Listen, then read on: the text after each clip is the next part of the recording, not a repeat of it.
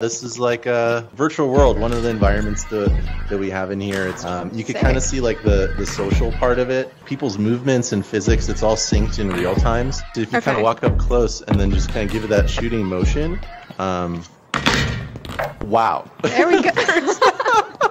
First shot. First shot. That is actually kind of rare. and then we have spatial voice, so you can start to hear people from over there. Oh. Whoa! There we go. We could also go to a different environment, hopping you into an NBA court. Really wild um, environments that are often very tough to get access to in, in real life. Can I do uh, some tricks? You can do some tricks. Um, you can kind of go behind your back and stuff. Um, Okay. and then if you press that trigger when it's getting close to your hand, it'll magnet there. Um, like you know, Yeah. you, got, you could do some spin moves. Um, you know, they're they're kind of doing a bunch of moves over there. There we go. All right. Let me try. That's awesome. All right, it is September 28th, and the last two days have been all about MetaConnect. So Meta has released a bunch of new information. They're releasing the Quest 3 this fall, which is their first mixed reality headset. They're partnering with Ray-Bans to release these mixed reality glasses that use AI. Some really cool stuff, including Mark going on Lex Fridman's podcast to talk about this, and they did that in VR. And there was one line that really stood out to me. And right now we're, we're kind of sitting in a dark room, which um, you know is, is you know familiar for for your podcast. But I think part of the the vision for this over time is um, is you know not just having this be like a video call. I mean that's fine. It's it's cool. Or it, it feels like it's immersive. But um, you know you can you can do a video call on your phone. The thing that you can do in the metaverse that is different from what you can do on a phone is like doing stuff where you're physically there together and, and participating in things together. And we could play games like this. So we had no idea that Mark and Lex were going to record that podcast, but we did know that MetaConnect was on its way. And so we wanted to show you the very real-world experiences that already exist on many of these devices. And so we did this by partnering with Gym Class VR, one of the top rated applications on the Quest. We basically went into VR with one of their co-founders, Paul, and Paul taught me how to dunk, dribble, how to really play basketball in VR. And we talked about the implications, the social implications, the technological requirements in order to put this in the hands of the masses. And of course, we also talked about AI. I hope you enjoyed this episode. I hope you don't laugh too much at me learning to dunk. Oh, hold both of those and then vote. Oh.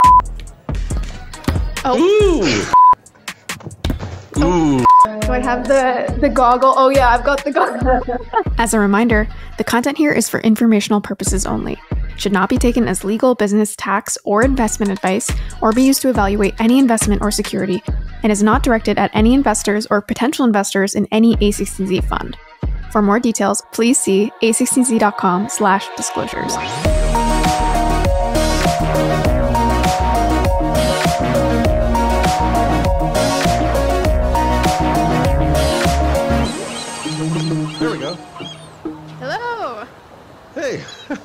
Good to see you at the beach. I know. Yeah, this is, and then people typically go in the gazebo, and that's where they hang out. Okay. Should we go over and have a chat? Yeah. Talk Let's about the chat. future of VR? This is so cool. This is the first time I can say that for sure that an A16Z podcast has been done in VR. So let's let's draw this line in the sand. I hope we'll do many more. Let's do it. that sounds great. First thing I want to ask after doing that for the first time is just you mentioned that it's one of the most popular Quest apps currently. Um, what goes into that? Like, why do you think people are coming back? Because there are so many apps that kind of fail or people try once and then, you know, there's also a suite of apps that people have just never heard of. Yep. I mean, I think there's there's kind of two things. Um, one, like when we first launched it, you know, there was very little in the in the experience. Like you you, bar- you couldn't even actually move around or dribble a ball. But our hypothesis was like if you had a shared interest in basketball with other folks, and we could Yeah. put you in an environment with eight other people where you could hear them, they're both kind of they're all kind of going through the same experience. They would want to come back, and that actually ended up happening. Like, um, you know, we had we made a post on Reddit, and there's like a few hundred people that tried it out, and all of a sudden they were in a Discord being like, "How can't I move around yet? Why can't I dribble?" Like they were asking for a lot of things related to basketball, but they were coming back just to chat with people and hang out with someone who might be in another country or um, or but but they share this common interest, and so that's definitely one of the biggest drivers um, within VR today. Like um, you know, most of the top 10, 13, 15 most played VR apps on the Quest, they're they're social. It's ways to share experiences with people from around the world um, in a really immersive and expressive way. Yeah. Um, you know, there's no other technology outside of VR today that gets you as close to expressing yourself like you would in real life. Um, it's not all the way there, but it's close, um, and that that allows for way more interesting social interactions. Yeah, it almost sounds like social is effectively the killer app that we've been looking for with VR. And I, I mean, even on Zoom, I'm constantly thinking about the fact that like this cannot be the end state. Like this box that we have like floating heads, it, like that cannot be the best that we get Yep. to in terms of communication and digital social interaction. And so you're saying Yep. that basically this is a step ahead. But I'd love for you to speak to where we are in that trajectory of VR because I mean, I think it has taken a while and I think a lot of people think we're still in this trough of disillusionment. And so I guess first, would you say that we're still there? Um, and then also, what will it take really for VR to be the everyday household activity, or not even activity, right? Something that just integrates into your daily life, the way that an iPhone might, or the way that you know, uh, you know, your computer and watching Netflix might. the expectations that people have are these headsets, VR, AR headsets, are going to replace a smartphone, and they're going to be something you always have on. Um, it creates, you know, digital layers on top of your everyday world that um, that all of a sudden makes everything, you know, digital and, and brings the internet everywhere. And I think over the long run, something like that is is going to be inevitable. But there's um, you know there's all these steps along the way to get there and the way to kind of you know replace a smartphone is isn't to just kind of build you know a device that's great for gaming. It's a device that has value to you in all parts of your life so that you might want to Mhm. you know use it in all parts of your life. So um, i think you know the way to get there is all of these different use cases that bring you back wanting to use this device. Um, just like with a smartphone um, you have an app for your camera you have an app for navigation um, all of these things that might have required special hardware before it became an app. Um, and i think with these headsets um, what we're turning into apps are experiences. So things like hanging out in, under a gazebo with someone from a few thousand miles away you know getting a, you're downloading a, an nba basketball court to your to your house. Um, you're not downloading a camera you're downloading a whole experience. Um, and so i think the the big idea is like there's going to be an app for all of your experience. Maybe we can speak a little bit to two other things that maybe relate to the arc of VR.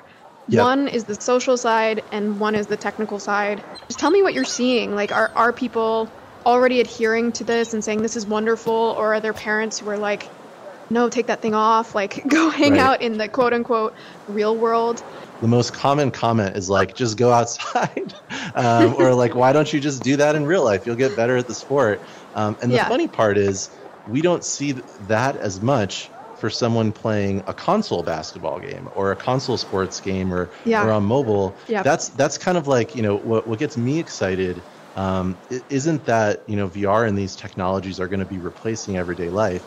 Like we're already spending most of our lives on our phones, on t- you know playing games on TVs, watching content on TV, and those are just such um, like the the humanity and the expressiveness and how social those moments are are just so Mhm. much worse than if you you know got off the couch and instead of learning a bunch of controller combinations to get better at you know a basketball Yeah. game you're actually moving um, and all of a sudden that can also expand the sport and make you feel a lot more fulfilled less lonely you're connecting with people on a much deeper level so i just see vr and, and, and these technologies as a way to level up these um, these really kind of like um, you know low impact digital experiences that we're getting used to and make them feel a lot more like real life Right. and a lot more personal Maybe we can jump to the technical aspect because there's been, you know, the Apple Vision Pro has Yep. the announcement has come out. Soon we're gonna uh, hear from Meta uh, in terms of Meta Connect and what they're Yep. doing next. Tell us a little bit more about what you see on the horizon technically, and if you see any important unlocks that would allow us to have just you know much better experiences and allow more Yep. people to want to participate. Yeah, so I think there's um, there's technologies that move the ball forward on use cases that we already know work in, in VR mm-hmm. and AR. Um, so new devices, uh, especially like new VR devices, like you know the next Quest, and we're going to see a lot more. They can they could do a lot more in terms of performance and the resources that they give a game. So like for instance, um, like Quest Two, it's it's incredible. Like we could run an NBA court, like we got crowds, like all of that kind of stuff. Um, but it's running on, on an old smartphone chip. Um, and the fact that any of this is running sometimes kind of blows my mind.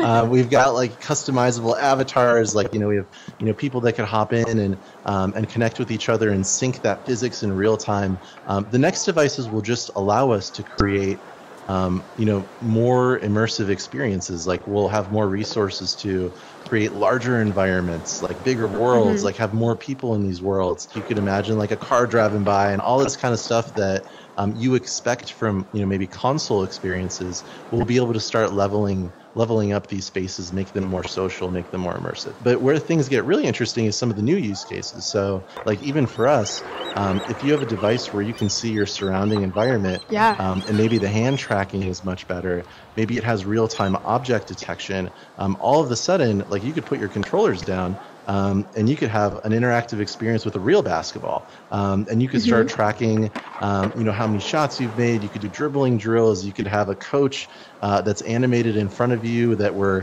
trying to match your motion to them. So all of a sudden that unlocks a training use case, which is like a really big market um, and, a, yeah. and, a, deeper fitness use case. So I think piece by piece we'll just see, um, you know, these new devices unlocking very valuable use cases that um, I think it'll it'll give you more reasons to use the device every day and start to have it really be a replacement uh, for the smartphone as well. Maybe you could speak to some of those opportunities. I mean, you're obviously working hard on Gym Class and it's going well. It's one of the top rated apps in the Quest store. But what else do you think is just like an untapped opportunity given, let's say, the next three to five years of technical advancements that you see coming? You know, with a social technology like this, um, there's a lot of you know companies and Meta's doing this. They're kind of going after how do I build kind of like this big platform of open worlds where everyone can create whatever they want, um, and maybe that'll lead to this metaverse. Um, but I think the the best way to go about it, and this is kind of like the the dimension that we're going about it in, is like um, we're focused on one interest, which is basketball right now, and that's the reason why you download. Um, and then you stay for the people and the relationships you're making, and kind of like the back and forth uh, interactions that you get. Um, and so I think the biggest opportunity to folks is like pick an interest and create the like the simulation experience where people can really go in and really dive deep into it and make friends around that interest um, mm. and make it as realistic as possible so it feels like you're having that experience um, and and from there um, you know you could expand to so many different things or just focus on that interest and you're kind of building almost like a digital online representation of all the things that happen within that interest in real life like with basketball you have fashion culture um, and people you know people want new shoes in here and new clothes and all that stuff like all of those things start to become opportunities for you digitally you know really just picking something specific and making it great um, and, and making it social there's there's just kind of like endless opportunity there within the space. Let's end off on on a question that I feel like I have to ask in in this era. But where does AI come into all this? Like, I feel like people think AI and VR are two separate things. But to me, as you were talking there about the different problems to be solved and the worlds to be built, that AI has to be part of this. Like, how are you thinking about that new technology integrating with what you're building? Yeah, well, when I think about AI, I think a lot of what it does is help you create more content and experiences and personalize content content mm-hmm. experiences at scale, especially with games and social media. You know, for, for moderation, there's there's systems that we have there. We have a lot of the standard things like recommendations that, that we're building, um, and we also, you know, our art team, for instance, uses um, you know, generative AI for concepting and kind of designing things before before they build them. So I think right now, at least our team, you know, for the past year, has been in that phase of starting to move just like you know existing use cases as well as you know as we're seeing new generative uh, tools to be able to move you know certain parts of the art experience, you know, uh, workflow mm-hmm. and engineering workflow to those tools. Um, VR though is really really interesting because um, one, you know, you could imagine being able to create endless content. Like if you, you think, you know, 100 years and this technology develops, um, it really becomes something of like an experience machine uh, in some ways. If you're hopping right. on and you're like, whatever experience you want, um, you'll be able to have it. Uh, and maybe it's with real people or maybe it's with you know a, you know ml you know agents that are, yes. are, kind of like bots that come up to you. Um, all of those things are ml problems and it's again very personalized. That's what that's what you often want. You want a bot to be able to respond to you to move you know and, and kind of respond to a scenario um, to say something that that makes sense. Like all of those become really, really interesting uh, problems to solve within a 3D space, um, expanding content and things that you can do. Um, and then when things where things get really interesting is is really motion, um, and that's where mm. we're focused on in the short term. Um, like the way that you move. Um, yeah. Imagine imagine kind of like your, your dribble move, um, or, or, kind of like your crossover. you know, if if you could somehow capture that and then let you maybe control that over mobile um, and start to move like you and um, and behave yeah. like you. Like those are things that are really big opportunities, I think, in terms of where VR is going to head. Um, in the short term, I think it's all going to be about how VR connects to mobile, whether through content or gameplay, and, and that's where I think Apple's in a really great spot. Um, and in the long term, I think you know you'll you'll imagine endless um, personalized content that you know you want to figure out how to you know go swimming or go fishing in in a crazy part of the world. Now there's an app for that, um, and and you could yeah. you know, play you could progress, you could get better. Um, you know, you could you could kind of discover incredible things in those experiences. Absolutely.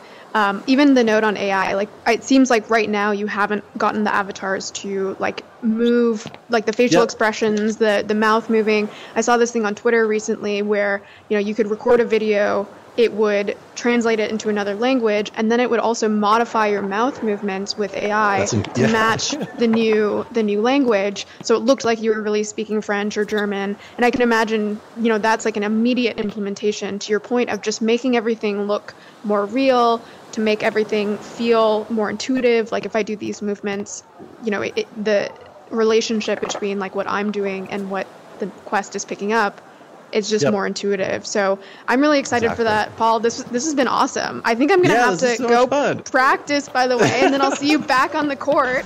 Let's do it. Let's hop back on the court. All right, if you made it this far, thank you so much for watching our very first interview done in virtual reality. This very much was an experiment for us, but if you'd like to see us continue experimenting, let us know in the comments below. Also, let us know if you're seeing virtual reality be applied to other industries, because maybe we'll cover that too. On that note, we'll leave you with a video of how VR is being applied to education, and then, of course, we'll close out with the bloopers. Finally, the basketball star I always dreamed to be. Oh, hold both of those, and then both. Oh. oh! Oh! Ooh! Ooh. Oh. Whoa, there we go. All right, let's just. Nope. Almost. All right. Oh, yeah. Did I punch any holes in the wall?